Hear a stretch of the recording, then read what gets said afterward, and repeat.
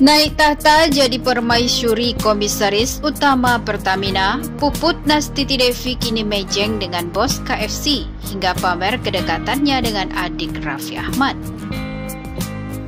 Kehidupan istri Ahok Puput Nastiti Devi tampaknya memang tak pernah sepi dari perbincangan publik. Bagaimana tidak, usai dinikahi Basuki Jaya Purnama, segala yang berhubungan dengan Puput Nastiti Devi selalu menarik untuk diperbincangkan.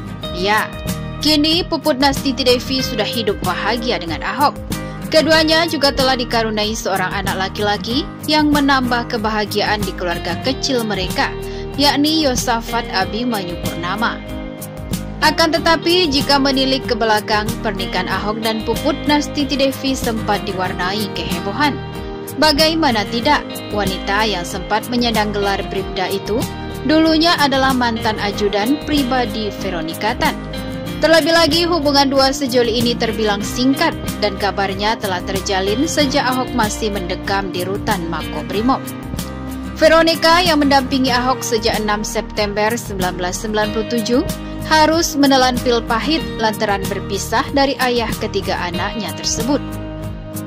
Sosok Puput Nastiti Devi kian menjadi perbincangan usai dipersunting mantan Gubernur DKI Jakarta Basuki Cahaya Purnama alias Ahok. Ya, Puput Nastiti Devi resmi menjadi istri Ahok sejak keduanya menikah pada 25 Januari 2019 silam. Bahkan Puput rela melepas gelarnya sebagai seorang polwan demi menikah dengan Ahok. Ia juga rela dihujat publik seantero Indonesia saat menikah dengan mantan suami Veronica Tan itu.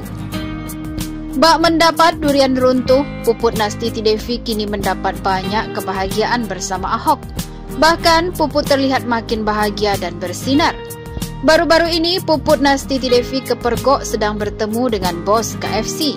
Tak hanya itu, ia juga tampak pamer kedekatan dengan adik bungsu Raffi Ahmad, Syahnas Sadikah.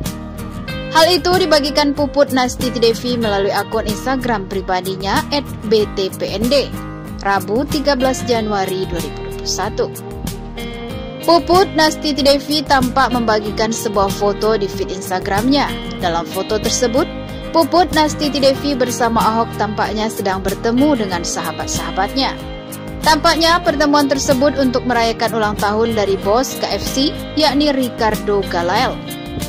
Puput, Nastiti Devi dan Ahok tampak berfoto bersama Ricardo. Istri Ahok tampak cantik dengan mengenakan baju motif dan rok hitam sebagai bawahannya. Tak hanya itu, rambutnya pun ditata sedemikian rupa yang cantiknya Mbak Ana ABG.